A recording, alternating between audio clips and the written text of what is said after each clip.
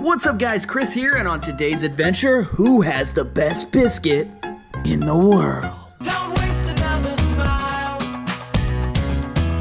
Cause the fun's about to start. We got love in all our hearts.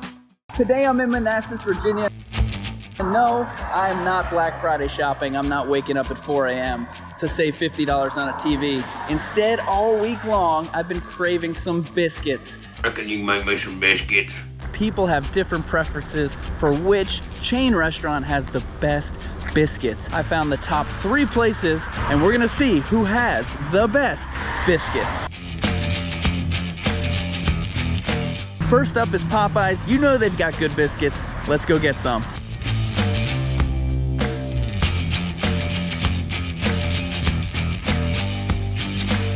Popeyes biscuits and the secret ingredient, honey.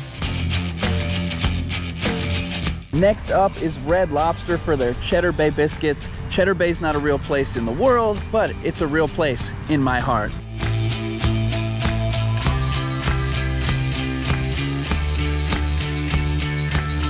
Red Lobster biscuits, and your secret ingredient on these babies, just some traditional butter.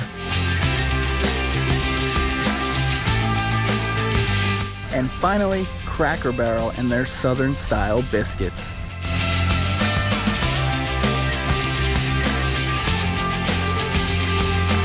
Cracker Barrel and the secret ingredient here, apple butter. I couldn't help but to open them to get this nice biscuity smell into this car. Mmm, smells so delicious. I'm so excited to go home and taste test these and then also eat all of them.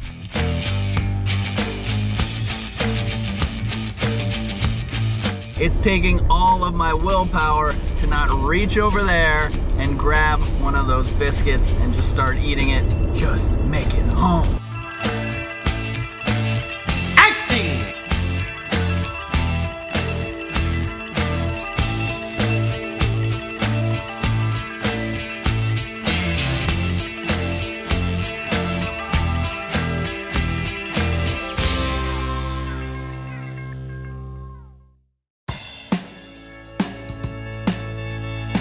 All right, it's time to taste the biscuits. Don't forget to let me know in the comments what your favorite biscuit is, at what restaurant that is, or which one of these three are your favorite. Just a preliminary look at each one. The Popeyes ones are a little bit harder. The Cheddar Bay from Red Lobster, these are just so good on their own. And then we have the Cracker Barrel, which is a little bit fluffier than the Popeyes. It's a little breadier, but we're not gonna make any decisions based on that. This is our Popeyes biscuit with honey. A Popeyes biscuit is probably the most common. The downside of Popeyes is sometimes if you go there, you'll get one that's been sitting around for a while. The biscuit itself is just, it's just so good. Whenever they do the outside, this hard kind of bottom and top, it just tastes so good, the little golden color there. And then the honey. Mmm. This is our red lobster cheddar bay with butter.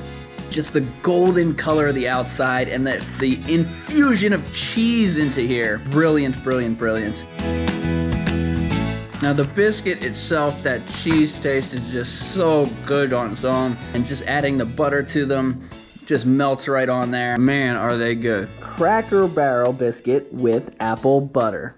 So the apple butter kind of has that wintry, cinnamony, gingerbready, I don't know what to exactly call it.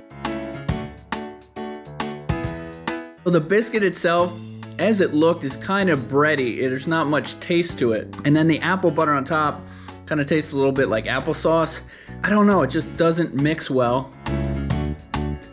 It's not as much of a desserty type of biscuit as it is kind of like a dinner roll type biscuit. So what's the overall winner? It's a close one between Red Lobster and Popeyes. And I cannot believe I'm doing this, but I gotta go with Popeyes.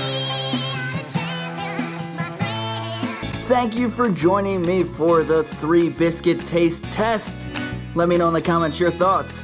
And I look forward to seeing you on my next DMV adventure.